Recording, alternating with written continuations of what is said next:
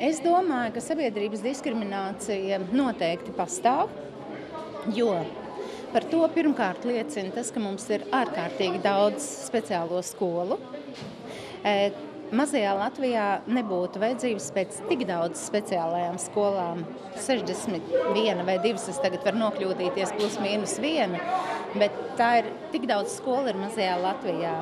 Daļa no šīm skolām Tā tad eh, ir ar, tātad bez intelekta traucējumiem, kurā, un tās ir apmēram, atkal es varu nokļūdīties, varbūt ir kaut kas mainījies pa laiku, bet eh, tās ir apmēram 17, 18 skolas, kur faktiski mācās cilvēkam nav nekāda intelekta traucējumi. Viņiem ir dzirdes, redzes, kustību, šādi traucējumi, kas faktiski šie bērni varētu mācīties tā saucamajās parastajās skolās. Tā saucamās parastās skolas viņas nav es domāju, pietiekami gatavas, ne fiziski, tīri iebrauktos un tādas lietas.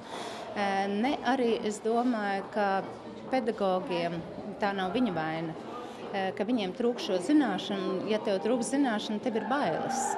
Ja? Ko darīt? Nu, ja tev rīt atnāk tāds bērns, jo tās, tas stundu Eh, daudzumiņš, es teikšu, es atļaušos teikt, daudzumiņš, ko iedod speciālajā izglītībā pedagogiem, nu, tā ir tāda, at, atkal atvainošos par vārdu, tāda apgrābstīšana mazliet, ja tāda caurbraukšana, kad vispār ir tādi bērni, ja, un, un tā, ja nu atnāk, ziniet, varbūt, bet kā viņus atpazīst. Nu, tādā ziņā, pieņemsim, tā būtu ļoti liela uzticēšanās skolotājiem vajadzīga, bet skolotājiem savukārt būtu jābūt zināšanām. Kā tas ir Somijā? Jo tur ir ārkārtīgi liela uzticēšanās skolotājiem, un viņš ir tas, kurš pat novēro šo bērnu visu laiku. Nu, savā ziņā tā kā diagnosticē, kas ar viņu notiek, vēro viņa attīstības dinamiku un, un saka, vajag darīt to un to tālāk. Nu, mums līdz tam vēl ir tāls ceļš ejams, es domāju.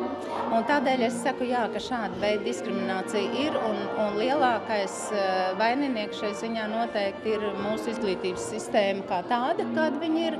Nu, protams, es domāju, ka arī no pašvaldībām vajadzētu droši vien sagaidīt lielāku aktivitāti, kaut vai tajā ziņā, nu, ka tie bērniņi, kas ir tātad ar kustību traucējumiem, ka viņi visur varētu iet tai savā tuvākajā skolā.